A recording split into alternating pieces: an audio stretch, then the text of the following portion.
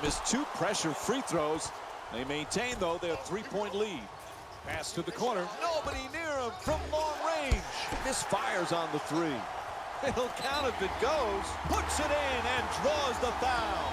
Golden State's three for nine from the line tonight.